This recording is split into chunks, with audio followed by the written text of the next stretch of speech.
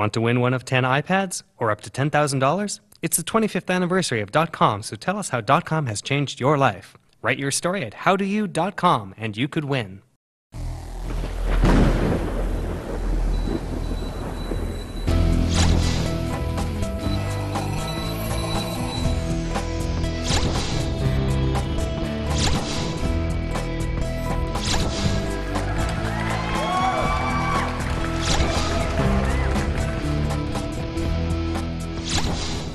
Yeah, what's happening, everybody? Welcome back to Pimp My PC. Now, this is the show we try to teach you how to personalize, customize, trick out your PC, but above all, make it cool.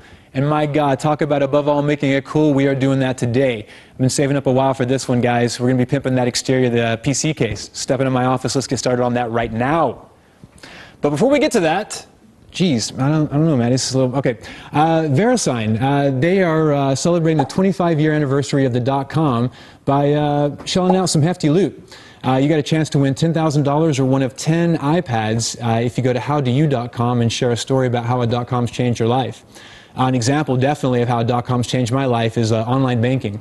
So my bank does uh, offer online banking, and it's completely changed the way I pay my bills. Should say it actually helps me pay my bills now because getting stamps and envelopes always missed it, so people were constantly knocking on my door. Definitely changed my life. So head over to howdoyou.com and share a story. Like I said, could, you net, could net you some serious loot. Uh, this is kind of ruining my close-up, Maddie, but it goes into our next pimp, though. So as you can see, I've got this big honking case in front of me, and it's not that bad looking. I mean, it's pretty easy on the eyes, but uh, boring. So uh, we're going to tell you how to fix that right now. So let's get this out of the way right now. Now, what I've done is uh, finished reading. You guys know that I like my comic books, and what I just got through reading was the uh, Green Lantern Blackest Night series. And after finishing it, I was completely inspired to do this pimp on this uh, on this desktop case.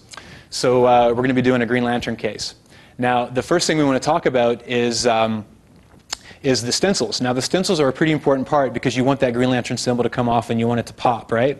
So once you get the, uh, once you get the symbol or the image that you want to put on the side of the case, perfect size and the, the right image that you want, basically what I did, and I tried to use stuff that I have around the house, right, because I don't want to go out and spend a lot of money to do this.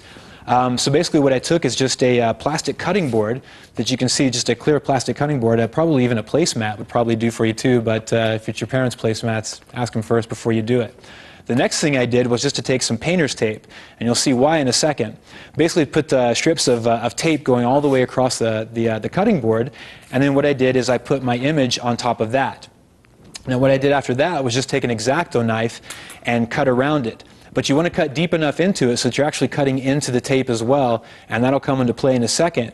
Because once I do that, you know, once you, uh, once you cut all those out, you have a series of, uh, of your symbols that are going to look like this, but they're going to come across in your tape. So now you got that stencil just the way you want it. It's time to get on with that pimp. But before you do, there's a couple of things you want to take care of.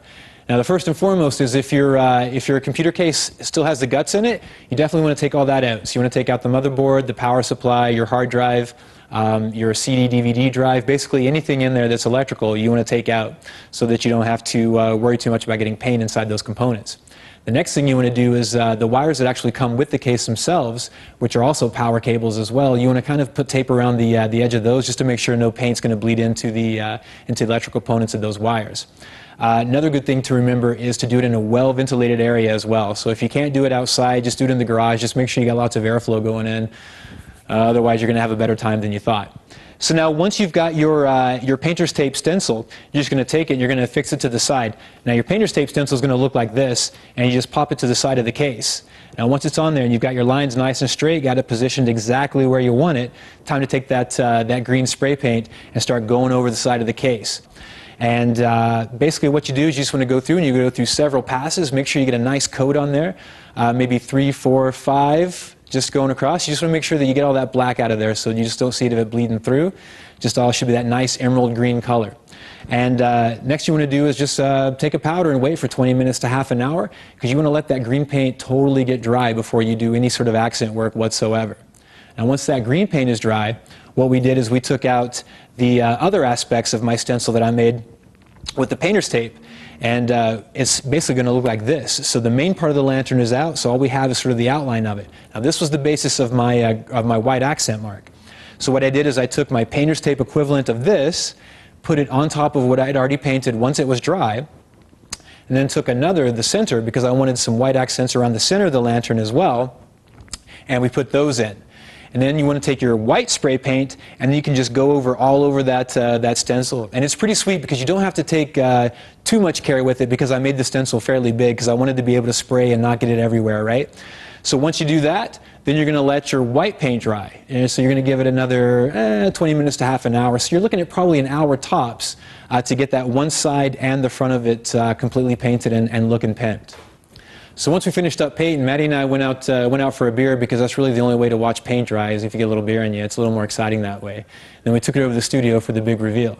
And what we did, you want to make sure that when you take that, uh, that stencil off, once your paint's dry, you want to take that stencil off nice and slow because you don't want to take off uh, any paint around it. Otherwise, you're going to have to do some touch-up work, and you're probably going to have to do some of that anyway. So just be really careful when you're peeling that stencil off. So now after you take off that last stencil, time to see the magic of your work, right? So check this out, guys.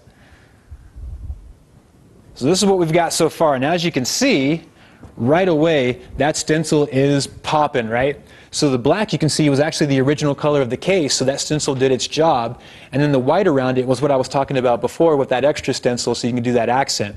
Now you can see I've got a little bit of cleanup here because the stencil idea was definitely a dry run, something I'm kind of making up as I go along. You might have a better solution. And if you do, definitely share it with me. But uh, basically, as you can see, all I'm going to have to do is clean some of this up again and clean up some of these lines, and this thing is going to be crisp. It's going to be awesome.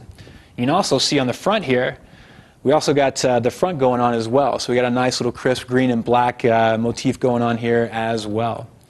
So this is just the beginning, guys. I can't wait for you to see what we're going to be doing with this, uh, with this case in the next few episodes. You got to keep coming back and see what we're going to be doing. You're going to be so sorry if you miss it. Well, that's today's show, guys. Make sure you check out the show notes at butterscotch.com and hit me up at lucas at butterscotch.com because I want to see what kind of customized desktops you guys are doing. And uh, to be honest with you, I'd love to hear the stories of what inspired them to begin with. So hit me up at lucas at butterscotch.com. I'm Lucas. You guys keep it unique. See ya!